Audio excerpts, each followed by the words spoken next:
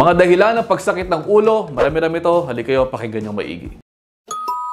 Ang pagsakit ng ulo ay hindi lang naman basta-basta masakit. Maaaring ang iba pagkatapos uminom ng gamot okay na pero yung iba hindi. Maraming types kasi o mga dahilan kung bakit sumasakit ang ulo ng mga tao. Una na riyan, po migraine. Meron na akong content ito separately. Panoorin nyo na lang. At least, nabanggit ko dito, mahaba-haba kasi yan.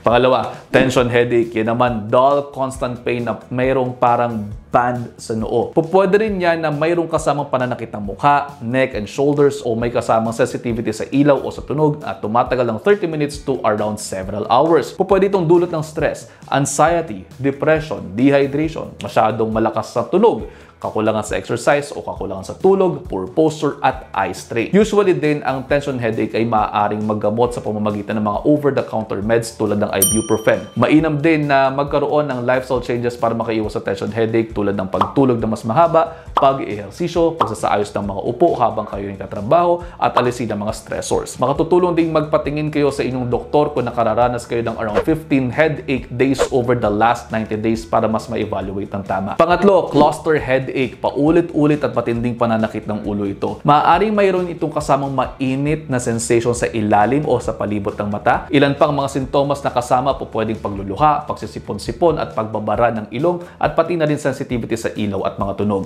Usually naman, itong cluster headache tumatagal ng 15 minutes to 3 hours. Yung iba, up to 8 attacks per day, po pwedeng magkaroon pa rin yan at parang clusters silang dumarating, consistent din yung oras.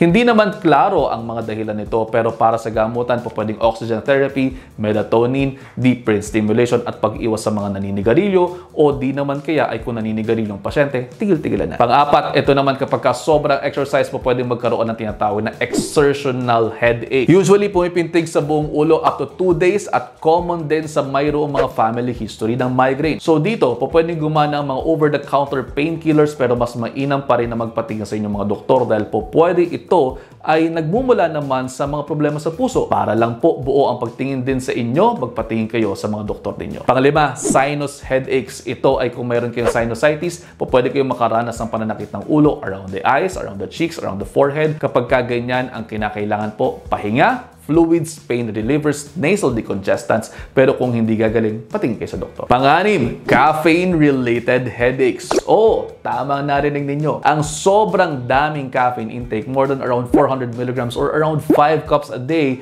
ay maaaring magresulta sa pananakit ng ulo. Ang treatment, syempre, bawasan ang pag-inom ng kape.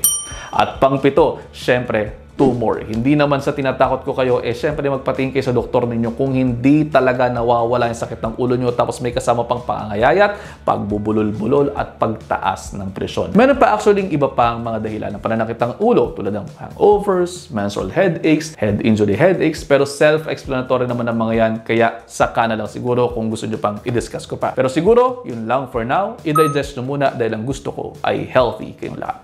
In the next episode. Ingat!